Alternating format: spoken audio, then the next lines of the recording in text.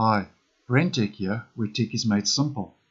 This video is just a quick reminder that if anybody is still using the old legacy Edge web browser on Windows 10, that with next month's Patch Tuesday update, that is April the 13th, 2021, that the old legacy Edge browser will be completely removed from Windows 10 operating systems and it will be replaced with the new Microsoft Edge Chromium version of the web browser which many of us are familiar with and are already using.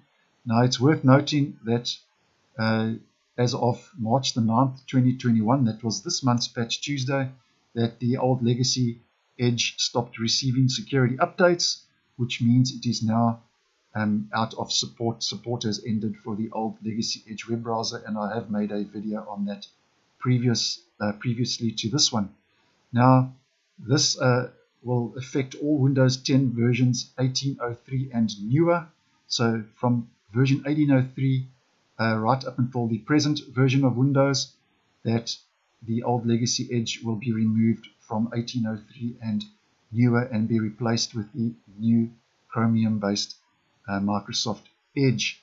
Now, if you are already using the new Chromium version of Edge, you have nothing to worry about, and the update, April 13th update, won't uh, reinstall it on your system. It will only it will only install the Chromium Edge if you were still using the old legacy Edge and you hadn't updated to the new Chromium version of the uh, Edge web browser.